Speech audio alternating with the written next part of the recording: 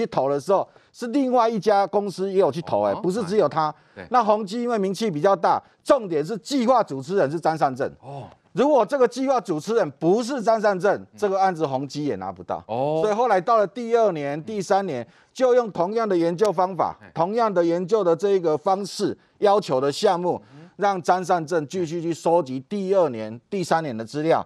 那他最后的这一个结论，如果他最后这个结论呢，还是抄袭别人的报告，这事情就大条了。因为农委会是希望说，因为你你比较有经验，你比较懂得比较多，你可以帮忙收集这个资料，告诉台湾，如果要发展农业科技，应该走哪一条路哦，哪一些可以做，哪一些不要做。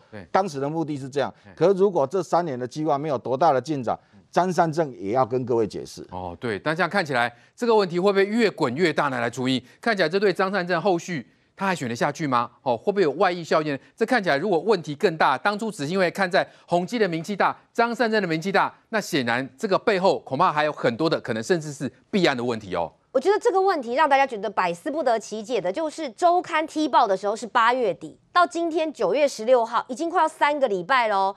事实上，这件事情他可以不用用这种方式处理，他赶快出来面对就好。因为我觉得，不论是宏基，或者是说对于张善政来讲，这就是一个。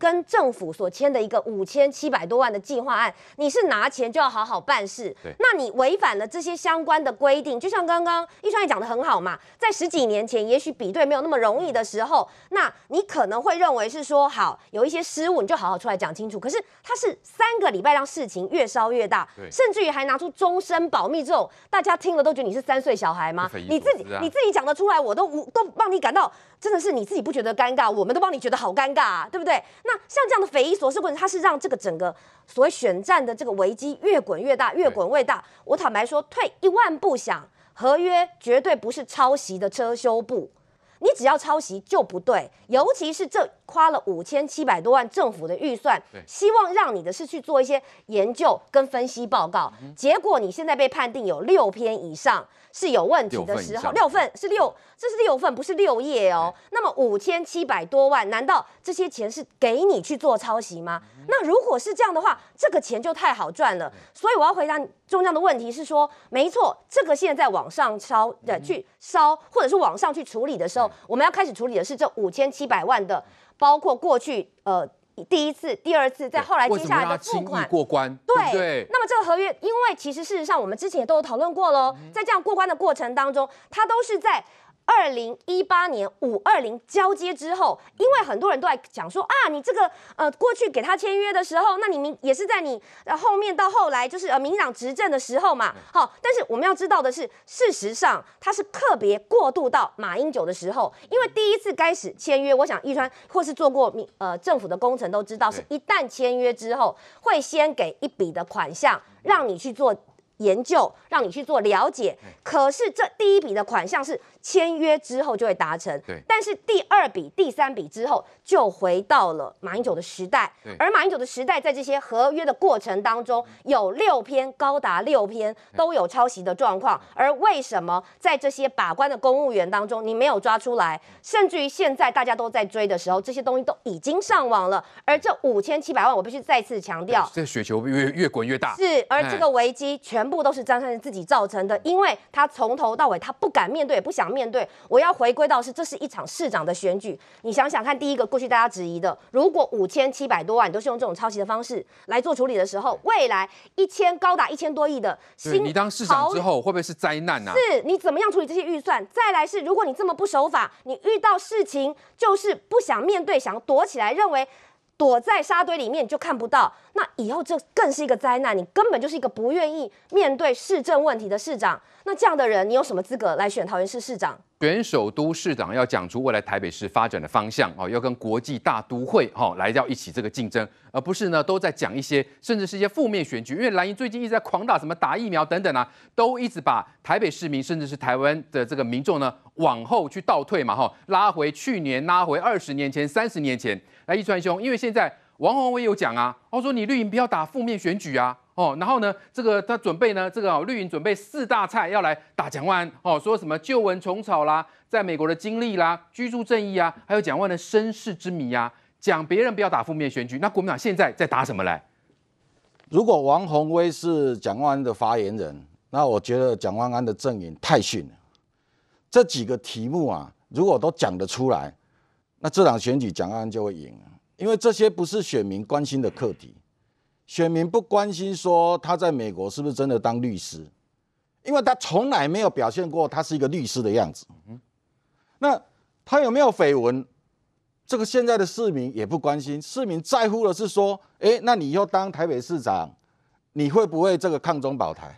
现在叫你签这个不投降的这一个承诺书，你到底你的心里面会想什么？会有人拿这一张去给陈时中签吗？陈时中不用签呢。陈时中的脸上就写说他抗中保台了，他过去的行为就已经是了，是这一些人才需要去签这一张，让市民能够放心啊。那哥刚刚提到这种改人设，改人设改最多的就是蒋万安。嗯，你以前会想象蒋万安的嘴巴会讲出“白痴”这两个字吗？蒋万安这几个月开始改变了他的人设，他开始骂人了。对，以前蒋万安的样子就跟呃最早期的马英九是一样的。就很少骂人，然后这温良恭俭让，那看起来就是一个外省的权贵，哦，那很早就到美国去读书，哦，在美国拿了一个很好的学位，然后回来台湾就说他是蒋家的后代，然后就开始去选立委，他原来的人设是这样，哎，对，那他下去做了这一个调整，调整了以后，我觉得，呃，对蒋万安本来有期待的人就开始慢慢的这一个失望，那黄文珊珊也是一样哦。黄珊珊跟蒋万安现在因为担心被气饱，双方都担心被气饱，那最后就回到自己的舒适圈，所以黄珊珊才会说他是湖南人。可是呢，他又转身又遇到这个中间选民，又遇到呃在在台湾长大、在台湾出生的这些人的时候，他觉得他老是强调自己是中国湖南人，也不票，所以那个邓来解释说，哦，那是内湖跟南港，哦。所以他自己不断的在调整这样的一个一个人设，所以这两个人现在都陷入了要回头去拿深蓝的选票，对，要回头去拿所谓的中国各省级同乡会的选票。各位想看看哦，谁出去才会呛我自己老大是谁？就让黑帮的操熟啦，让小弟出去的时候开始要干架，说您打几项，您打几项。现在蒋万安跟这个黄珊珊不是一样吗？公我是中国湖南人，所以请湖南的同乡都要支持我。那蒋万安呢？说我是蒋家人，所以呢，如果支持我阿公的、支持我阿祖的，你们都要支持我。这不就跟那黑帮小弟在呛自己的老大是谁一样吗？选举选到现在这种样子啊，其实都很可怜。一个首都市长的选举，我们也都只有看到陈时中在提政策。陈时中大概现在平均大概一个礼拜。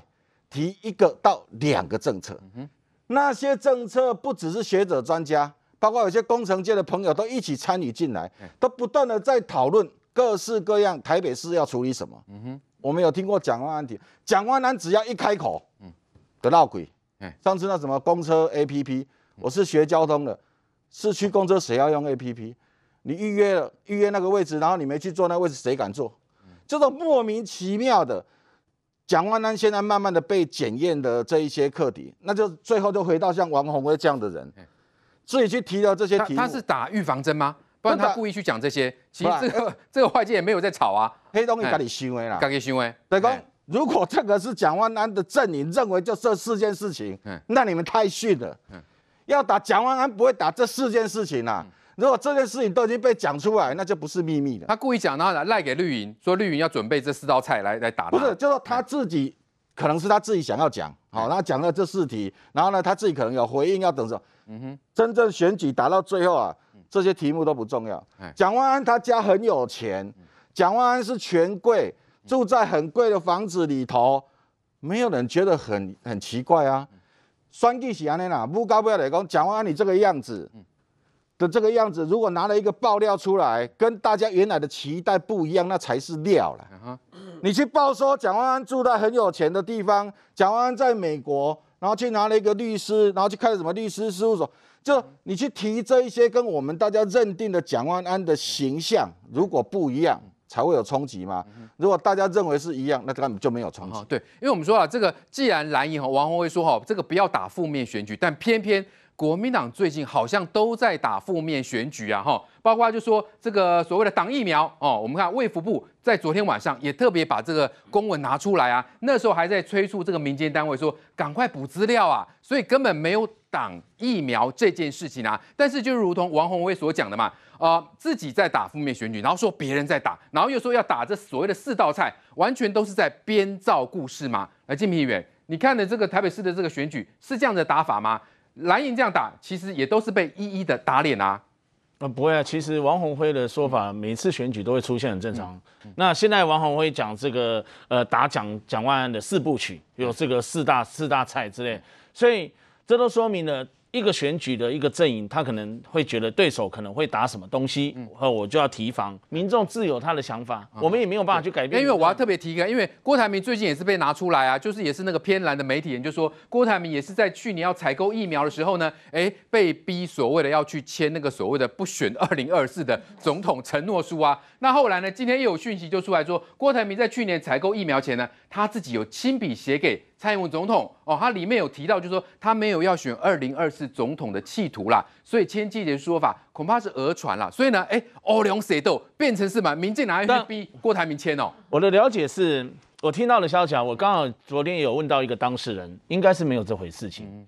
所以我看到是柯建明在协助他们有关于授权书的厘清、认定是真还是伪，是真的还是假的啊？政府需要需要什么？还需要哪些文件？他中间扮演一个桥梁传话，然后郭董再请他回去跟蔡英文总统讲什么？后来柯建明再跟郭回报，然后再请郭说要不要直接去跟官邸跟那个总统见面，诸如此类。后来大家都看到新闻，新闻都有。我看到的是这个过程的往返。那听没？那竞聘的说法就代表政府没有阻挡疫苗嘛？然后郭台铭也没有被民进党签什么要什么不选总统承诺书啊？为什么会有这个所谓的又开始在吵说什么工商工商大佬，然后被这个行政院阻挡，然后呢，根根本就是政府在挡疫苗，然后国民党团又打蛇随棍上，到底是谁？就是因为这个慈济的执行长嘛，他突然跳出来讲说，哇，当时候的状况，那这个时间点讲这个一定就会被做文章嘛。